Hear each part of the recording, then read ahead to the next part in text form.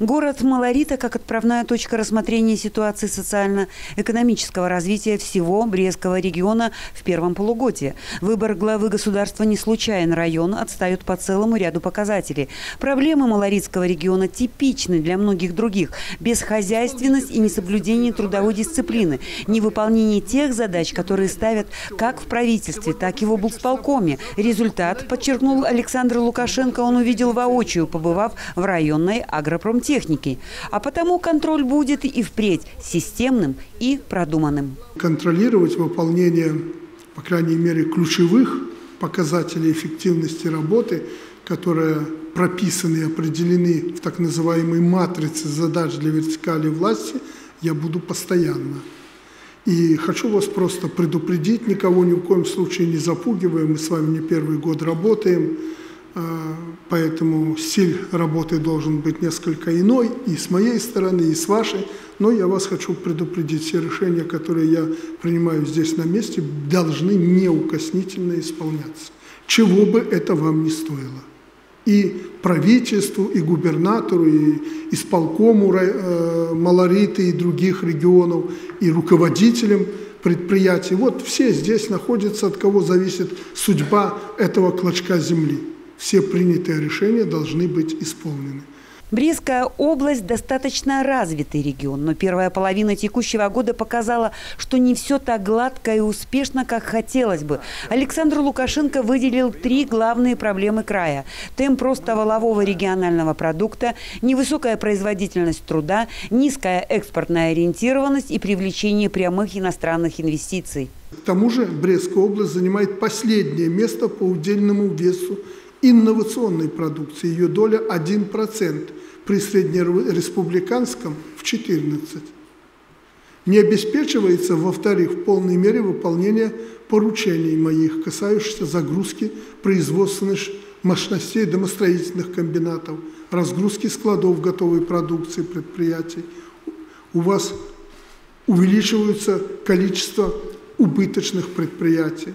Промышленный сектор экономики под пристальным вниманием губернатора. Местная вертикаль власти достаточно плотно работает над вопросами инвестирования. Проектов в разработке много, но пока не все они дают отдачу. Как подчеркнул губернатор Анатолий Лис, отмечается некая выжидательная позиция инвесторов. В связи с изменением условий деятельности предприятий резидентов СЭС с 1 января 2017 года инвесторы заняли выжидательную позицию по осуществлению инвестиционных проектов в Российской Федерации принят ряд мер по поддержке особых экономических зон. Это прежде всего освобождение резидентов территории опережающего социально-экономического развития от уплаты налогов на имущество и земельного налога, установление пониженных тарифов страховых взносов, общая сумма взносов будет сокращена до 7,6% вместо 30%, в том числе 6 пенсионный фонд, 1,5% фонд со страхом. Кроме того, существенным э, конкурентным преимуществом резидентов российских особых экономических зон являются цены на энергоресурсы и коммунальные услуги.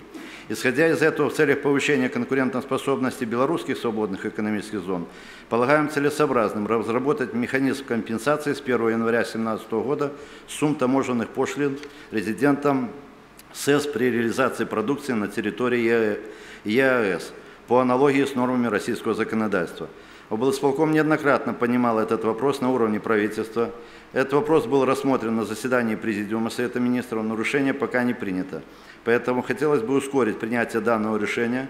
Сегодня свободная экономическая зона Брест – это 78 предприятий, из них 50 с иностранным капиталом, которые занимают значительную долю промышленности области – 17,4%, и в экспорте – 28,7%. Леонид Алфимов подчеркнул, что все-таки многие инвестпроекты область полком сопровождает недостаточно активно. В Малорицком районе есть суперсовременное предприятие «Кварцмилпром», э, по производству строительных материалов в инвестиционный проект, по созданию которого вложено более 170 миллионов долларов – это предприятие э, группы компаний «Трайпл», «Чижа». Частное, но это в принципе белорусское предприятие, душа за судьбу этого предприятия должно болеть у каждого, тем более и в области, и в районе, для которого она является градообразующим. Выпускает востребованную на строительном рынке продукцию, но вынужден остановить производство извести и, как следствие, сократить 200 человек. Производство извести, потребность которой есть даже в Европе, но из-за высокой цены на газ становится непроходной на европейском рынке. Европа же переводит аналогичные печи на РДФ топливо. Мы, к сожалению, только раскачиваемся. И если правительство не повернется лицом к этому, к этому вопросу, то все время будем в хвосте плестись, товарищ президент. Вторая проблема, которую я бы записал в актив, в кавычках, правительства, это недооценка потенциала Брестской области по развитию легкой промышленности страны аграрный сектор. Тема актуальная в разгаре уборочная страда. От того, какой урожай соберет каждый регион и в целом страна, во многом зависит экономическая безопасность государства. Отдельная строка – работа молочно-товарных ферм. Вложено в них средств немало, а соответствующие отдачи пока не чувствуются. И в целом состояние некоторых сельхозорганизаций вызывает опасения. Для чего мы создавали героически, вы же помните эту стройку, которую мы всей страной волонтеры с президентом разворачивали и проводили. Александр ну я говорил, это у нас сложился прошлый год так. Значит, мы э, практически у нас, э, вы же были в прошлом году, когда засуха была, у нас уже вот в это время, в июле, в начале августа, уже не было чем кормить скот. Поэтому мы его весь пришлось поставить. Открыли, значит, все наши, скормили тот силос. У нас уже фактически к э, марту месяцу уже силоса не было, в отдельных хозяйствах только было. Поэтому в мае месяце выгнали 70% скота значит, на пастбище. Это, то, это не технологично. Нельзя сегодня скот, который должен стоять и кормиться, как и вы говорите, рационом, кормосмесью, гонять его или кормить сегодня то одной, то второй значит, э, травосмесью. Поэтому у нас и в этом еще возникли проблемы. Мы их видим. В этом году поставлена задача заготовить минимум полтора годовой запас. Хорошо, кормов. задача. Я считаю, Жан Григорьевич, что их есть все возможности в этом году поправить положение. Заготовить, Но заготовить. вас, вот вы двое контролируете этот процесс, вы знаете, наверное, что происходит в Брестской области. Вас удовлетворяют те темпы, э, то качество и вообще работа в Брестской области по преодолению этих проблем? Я, лично меня, как министра, удовлетворяет. Идет все последовательно. И обучение кадров, и повышение профессиональных навыков, оператора машинодоения, и технологов. Идет полномерная заготовка травянистых кормов. Уважаемый Александр Григорьевич, э, надо отдать должное, и здесь присутствуют руководители, положительная сторона работы брестских кадров. Четыре года подряд идет стабильный прирост поголовья, не мнимый, ничего, идет заполнение данных комплексов. Да, вот э, пробел, тот, который сегодня Заяц говорит, он показывает, где можем заработать деньги. Эти комплексы должны доить больше. Хотя, допустим, 14 э, литров, которые они дают, дают там 20% или 15% рентабельности. Но э, ресурс очень большой. Многое, подчеркивал неоднократно Александр Лукашенко, опять же зависит от соблюдения дисциплины, начиная с руководителей местной вертикали власти, организаций и предприятий, заканчивая исполнителями. Я для чего это говорю? Не для того, чтобы вас тут раскритиковать в чем-то. Я хочу, чтобы это действительно стало для всех уроком прошлый год. Вы мой характер знаете. Мы с вами договорились, как мужики, давайте работать.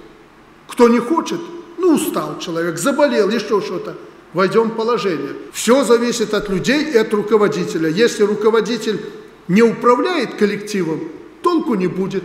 Поэтому я и спрашиваю, может быть, руководителям надо дать дополнительное полномочия, чтобы он шел на планерку и знал, у него вот так в рядок, как он сказал, сидят специалисты, и если он расписал планерку, к вечеру все должно быть исполнено.